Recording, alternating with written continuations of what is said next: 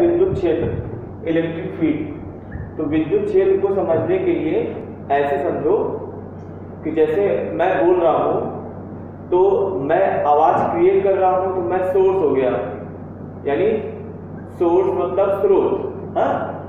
आवाज़ का मैं स्रोत हूँ। और ये आवाज़ जहाँ तक जा रही है मतलब कहाँ तक जा रही है इसको कैसे पहचानेंगे? इसको ऐसे पहचानेंगे कि कहाँ तक मेरी आवाज़ सुनी जा सकती है। कोई पर्सन अगर जाए यहाँ से दूर तो उसको जहाँ तक मेरी आवाज़ सुनाई देगी, वहाँ तक मेरी आवाज़ का क्षेत्र कहा जाएगा ना मतलब कहा जाएगा कि मेरी आवाज़ वहाँ तक पहुँच रही है। Via travelling in the air sound wave के रूप में मतलब ध्वनि तरंग के रूप में चलते हुए आवाज़ का एक जगह से दूसरी जगह जाना होता है। तो आवाज़ जहाँ तक जाएगी, वहाँ तक मेरी आवाज़ का क्षेत्र है। तो ध्यान ये रखना है तुमको तुमको ध्यान ये रखना है कि जिस तरह से आवाज़ का एक क्षेत्र होता है, उसके चारों ओर अगर कोई बोल रहा है तो उसकी आवाज़ चारों ओर जाएगी। तो जहाँ तक आवाज़ जाएगी, वहाँ तक आवाज़ का क्षेत्र होगा। बोलो सही बात? आवाज़ का क्षेत्र होना मतलब आवाज़ को सुना जाना। तो जहाँ तक मेरी आवाज़ सुनी जाएगी, वहाँ तक मेरी आवाज़ का क्षेत्र होगा, प्रभाव होगा। मेरी आवाज़ वहाँ तक पहुँच रही होगी। इसी तरह जिस तरह आवाज़ को हम लोग सुनकर पहचानते हैं कि आवाज़ यहाँ तक आ रही है या नहीं आ रही।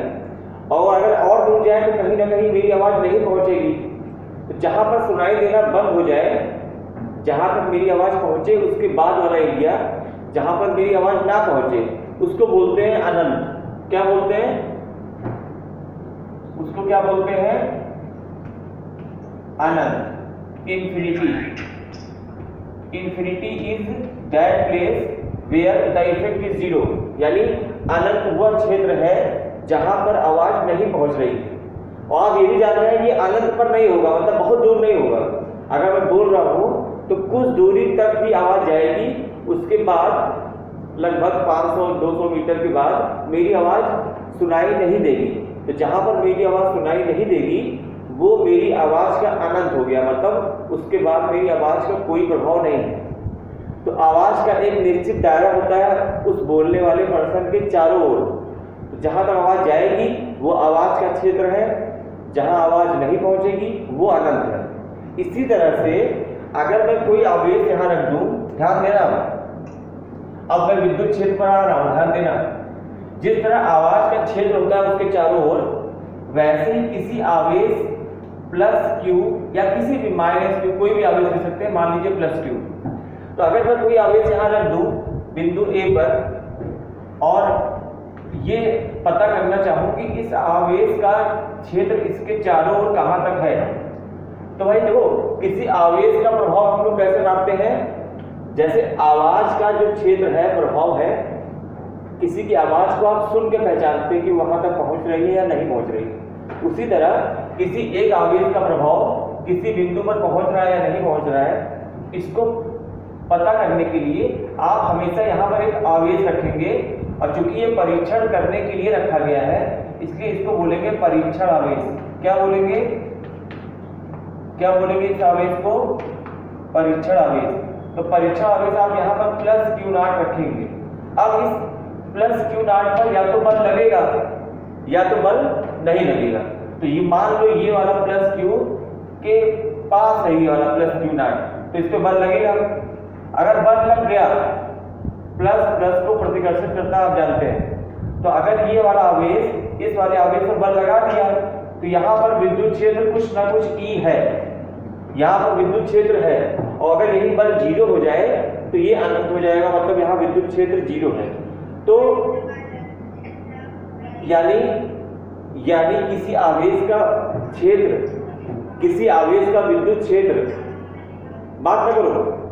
किसी आवेश का विद्युत क्षेत्र उसके चारों ओर का वह इलाका होता है, किसी आवेश का विद्युत क्षेत्र उसके चारों ओर का वह इलाका होता है, जहाँ तक किसी दूसरे परीक्षण आवेश पर बल महसूस किया जा सके। यानी अगर इस परीक्षण आवेश को आप कहीं रखते हैं और उस पर बल लगता है तो वो जो बल लगा, वो इस बात का संकेतांक है कि वहाँ पर विद्युत क्षेत्र है। अगर बल ना लगे तो विद्युत क्षेत्र ज़ीरो है। अगर बल लगे तो वहाँ विद्युत क्षेत्र है। अगर बल ज़्यादा लगे तो विद्युत क्षेत्र ज़्यादा है। अगर बल कम लगे तो विद्युत क्षेत्र कम है। बात ना करो भाई। बात ना करो। आवाज़ बंद करो। माइक बंद करो। माइक बंद करो। माइक बंद करो। यहाँ देखो। साउंड बंद करो यहाँ पर देखो ए पर कोई प्लस क्यों आवेश रखा है, हमको इससे दूर किसी बिंदु, मान लीजिए बी पर ये पता करना हो कि यहाँ पर विद्युत क्षेत्र है या नहीं। इस आवेश का विद्युत क्षेत्र यहाँ पर है नहीं मतलब इस आवेश का प्रभाव यहाँ पर है या नहीं। तो हम लोग क्या करेंगे? ध्यान से सुनिए। अपने मन से, ये आपका स्टेप है तो आपको यहाँ पर अपने मन से अपने मन से आपको यहाँ पर क्या रखना है? परीक्षण आवेश। परीक्षण आवेश का सिंबल होगा प्लस क्यू डॉट इसको आप यहाँ रखेंगे। अगर इस बल लग गया तो ये विद्युत क्षेत्र यहाँ पर है। अगर ये बल ज़ीरो हो गया तो जान लीजिए यहाँ विद्युत क्षेत्र नहीं है मतलब आप अनंत पर पहुँच गए हैं। तो ये निश्चित तौर पर आप जानते हैं, दो आवेशों के बीच की दूरी अगर बढ़ाई जाए, अगर दो आवेशों के बीच की दूरी बढ़ाई जाए तो बल क्या होता है? घटता है कि बढ़ता है? घटता है। तो अगर मैं इस आवेश से दूर चलता चला जाऊँ, लगा मान लीजिए यहाँ पर हूँ, मैं बी पर बल लग गया सी पर मैंने परीक्षण आवेश को रखा, यहाँ पर भी बल लग गया। अब मान लीजिए मैं और दूर गया तो एक जगह आएगा ना जहाँ बल ज़ीरो हो जाएगा। भाई, अगर आप दूर जाएँगे तो बल घटेगा ना। अगर आप दूर चलते चले जा रहे हैं तो कहीं ना कहीं पर तो बल घटेगा और घट कर ज़ीरो होगा। तो जहाँ पर बल ज़ीरो हो जाए, ध्यान से सुनिए, जहाँ पर परीक्षण आवेश पर लगने वाला, क्यू नाट पर लगने वाला बल ज़ीरो हो जाए, वो हमारे लिए अनंत होगा। इस आवेश के लिए वो अनंत हो जाएगा, जहाँ पर बल ज़ीरो हो जाए। तो विद्युत क्षेत्र क्या होता है? पहले ये समझो, पहले इसको ज़रूर समझो, विद्युत क्षेत्र किसी आवेश का होता है। किसका होता है? आवेश का। जैसे आवाज़ किसकी होती है? किसी पर्सन की, किसी लिविंग बींग की कोई आवेश आवाज़ होती है, और वो आवाज़ जहाँ तक सुनी जा सके, वहाँ पर आवेश का उस आवाज़ का क्षेत्र है। उसी तरह किसी आवेश का प्रभाव किसी दूसरे आवेश पर है या नहीं, इसको कैसे पता करेंगे? परीक्षण आवेश रखकर। तो जहाँ तक परीक्षण आवेश पर बल लगे, जहाँ पर परीक्षण आवेश पर बल लगे, वहाँ तक उसका विद्युत क्षेत्र है। और जब वो बल घटते घटते ज़ीरो हो जाए तो बस जान लो, वहीं पर अनंत है। यानी वहाँ पर कितना विद्युत क्षेत्र है? ई कितना है? ज़ीरो तो बल अगर ज़ीरो हो गया, अगर बल ज़ीरो हो गया तो विद्युत क्षेत्र भी ज़ीरो हो गया। और अगर आप ध्यान दें तो बल को मैं इतने दिन से आपका दिमाग चाट रहा हूँ कि भैया बल का मान बताओ, बल का मान बताओ, बल का मान बताओ। उसका कारण यही था कि विद्युत क्षेत्र भले ही ये अलग विद्युत राशि है, ये कोई दूसरी फ़िज़िकल क्वांटिटी है, लेकिन कुलाम का नियम मैं इतने दिन से आपको इसीलिए पढ़ा रहा था कि बिना बल को जाने बल के बारे में समझे, आप विद्युत क्षेत्र को नहीं समझ सकते।